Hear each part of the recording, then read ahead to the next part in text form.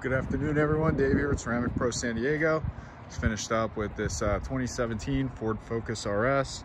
Some standard detailing, uh, wash clay polish just to decontaminate the surface uh, and enhance some of the gloss. And then we topped it all off with the Ceramic Pro Sport. So it's just an entry-level coating, about six months of protection.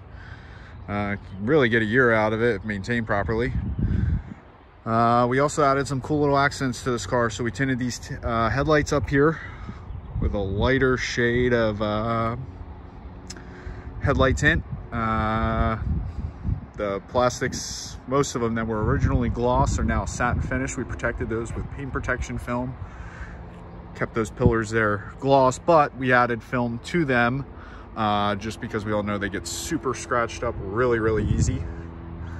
Um, spoiler, the roof.